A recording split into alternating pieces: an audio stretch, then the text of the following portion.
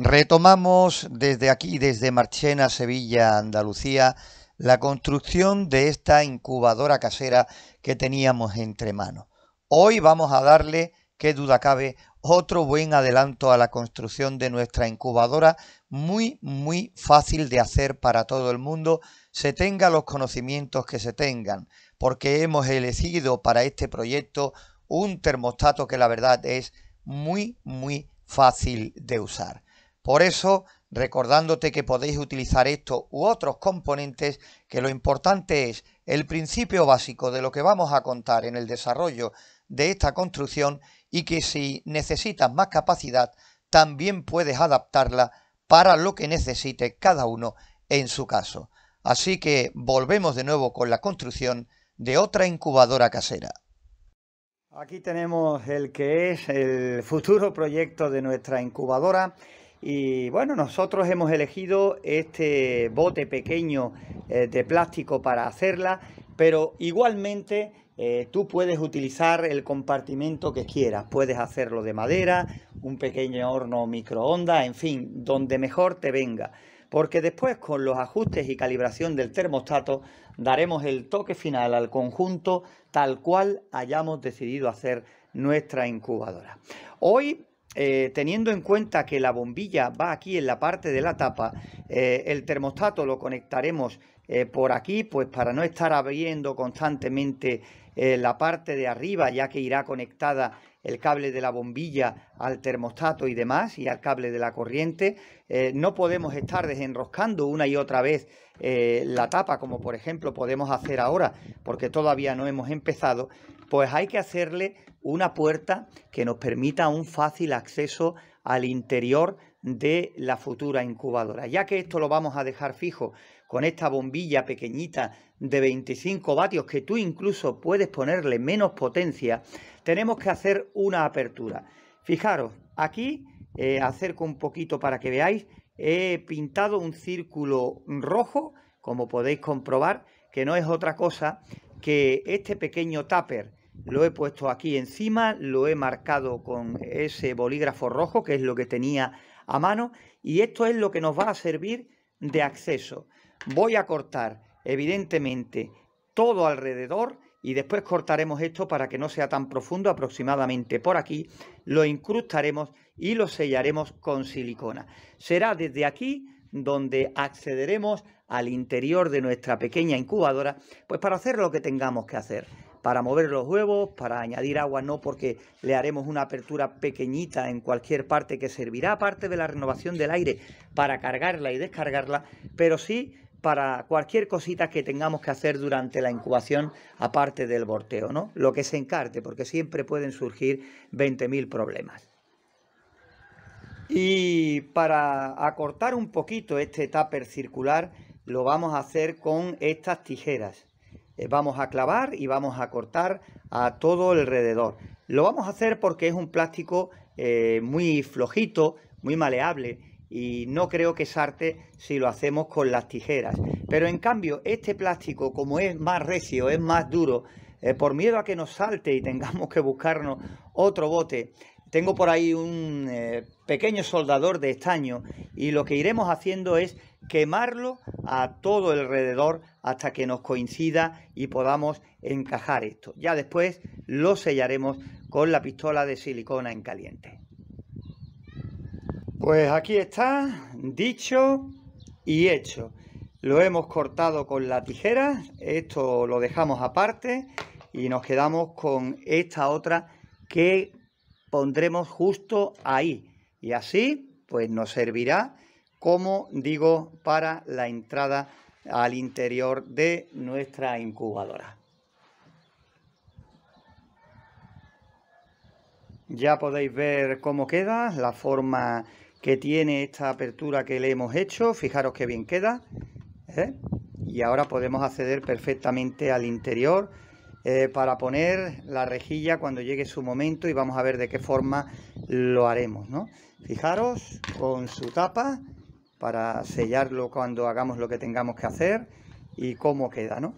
Ahora lo que voy a hacer es, pues, esta parte sellarla con silicona en caliente por todo alrededor, Hoy estoy grabando solo y por eso eh, no estoy haciendo el proceso porque, eh, como veis, tampoco tiene mayor historia el abrir eh, por aquí este círculo y aquí cortar lo otro. Y ya veis la tapa que le hemos quitado con ese soldador de estaño. La verdad es que ha sido muy fácil, incluso más fácil que cortar esta etapa. Ha sido muy muy fácil en caliente, ya que este plástico es más recio, pero tampoco es gran cosa porque el soldador, la punta se pone hirviendo y ha sido, repito, facilísimo. Pero con un cuchillo o unas tijeras, con mucho cuidado, también se puede hacer, ¿vale? Así que seguimos adelante. Ahora voy a preparar la pistola de silicona, le voy a meter una barrita, voy a tener otra por ahí preparada. Ya sabéis que yo cuando cojo la, pistola de silicona me vuelvo loco y gasto silicona eh, a tope y eso es lo que voy a hacer a continuación para sellar esta puerta, ¿vale? Y después de sellarlo con silicona, pues ha quedado como veis. Ya tenemos la puerta de acceso al interior de nuestra incubadora.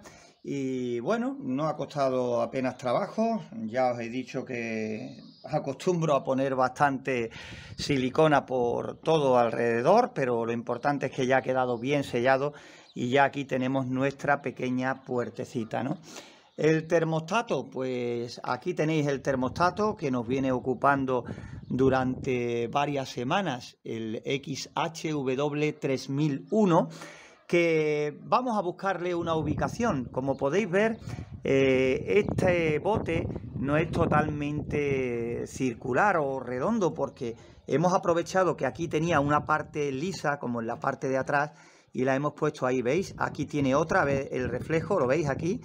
Es plana, aquí en la parte trasera pues tiene esta parte también que es plana y otra pequeñita en el lateral. Pues el termostato para que quede derechito lo vamos a ubicar aquí. Le haremos dos agujeritos aquí donde estáis viendo con mucho cuidado, lo atornillaremos y ya desde aquí pues haremos la conexión con la bombilla, eh, pondremos aquí una regleta de empalmes o, o posiblemente aquí abajo que los cables son más cortitos como veis y aquí pondremos la regleta y de aquí pues ya sacaremos la conexión para, para eh, la lámpara, para la fuente de calor y también evidentemente para el cable de 220 voltios. Y la sonda pues posiblemente le hagamos algún agujerito aprovechando pues la renovación del aire del interior de la incubadora e iremos probando la posición en la cual la dejaremos colocada definitivamente cuando hagamos la medición de temperatura y humedad relativa eh, en el interior de la incubadora. Pero no queremos adelantar tanto porque eso será más adelante.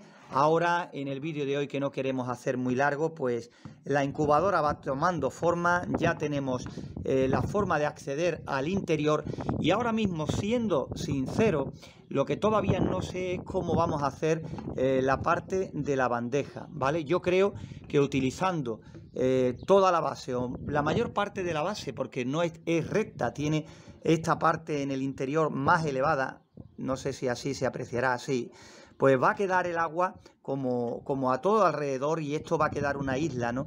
Vamos a ver y ojalá cuando hagamos las medidas, echándole agua a todo esto alrededor, eh, la humedad esté en un tanto por ciento que sea aceptable para incubar, ¿no? Si después de medir vemos que no, que está muy alta o que está muy baja, pues ya pensaremos, que es lo bonito de esto, ya pensaremos eh, cómo ponerla en condiciones óptimas para tener buen resultado. ¿no? Pero lo que todavía no tengo muy claro es qué le vamos a poner un poquito más elevado para que ahí estén los huevos y donde puedan nacer los pollitos sin problemas de caer a la parte de abajo que es donde va a ir el agua, ¿no? Posiblemente cojamos un trozo de tela metálica y la metamos así un poco doblada y ya después en el interior, pues quitándole la tapa y demás antes de poner el termostato y todo el cableado que ya después nos impedirá quitar eh, esta parte de arriba y así lo tendremos más complicado de poner solo accediendo desde aquí o, ya veremos de qué manera lo hacemos. Pero yo creo que va a ser esa poner una tela metálica y ya después pues con esa tela metálica eh, desplazándola hacia arriba podremos limpiar la parte de abajo y así, ¿no? Lo que tratamos con todo esto, pues, es hacer una incubadora muy, muy fácil, ¿vale? Hemos escogido este bote porque ya lo teníamos anteriormente preparado con otra cosita que queríamos hacer precisamente con él y esta bombilla de 25 vatios, pero nos ha venido bien para este proyecto y hemos decidido utilizarlo. Nuestra incubadora pequeñita va tomando forma, la vamos a ir haciendo poquito a poco. Eh, ya cuando tengas todos los vídeos podrás comprobar lo fácil que es y también lo fácil que espero que sea de ajustar. Lo que pasa que cada uno en su zona donde vive, cada uno en su pueblo, pues tendrá que hacer ese ajuste independientemente, sobre todo la humedad, porque la humedad ya sabéis, si tenéis experiencia con nosotros, no se comporta en todos, en todos los lugares de la misma manera. Eh, ya tenemos la puerta, tenemos nuestra pequeña incubadora que va tomando forma. En los próximos vídeos pues conectaremos el termostato una vez que le hagamos, le busquemos la colocación que te hemos dicho. Eh, conectaremos el termostato y ya pues en otro vídeo haremos eh, el ajuste del termostato y después ya pues por último mediremos temperatura y humedad, humedad relativa sobre todo para ver si podemos comenzar ya a hacer alguna que otra incubación. Intentaremos hacer alguna incubación porque si no, no tiene sentido que hagamos la incubadora eh, y después no veamos si funciona realmente o no, ¿no? Que ya sabéis que es lo que hacemos en todos los vídeos que, hacemos aquí en nuestro canal, ¿no? Hacemos las cosas y después intentamos comprobar eh, sobre el terreno si funcionan o no. Y por supuesto, recordándote que no tenéis que hacerla exactamente igual que nosotros la estamos haciendo, ni tampoco tenéis por qué usar los mismos componentes. Lo que nos queda es el principio básico de todo lo que vamos a contar. Ya después, si necesitas de más capacidad, puedes buscar un recipiente o habitáculo mucho mayor. Este termostato es muy fácil de usar y de colocar. Si tus conocimientos van un poquito más allá, puedes utilizar otros eh, componentes que tengas más a mano o que te puedan dar más prestaciones. Pero nuestra intención en este vídeo, como hemos dicho desde el principio, es hacer una incubadora casera al alcance de todo el mundo, independientemente de los conocimientos que tenga en electricidad y electrónica, sea más manitas o sea menos manitas. En fin, por hoy nada más. Desde Marchena, Sevilla, Andalucía, un saludo a todos.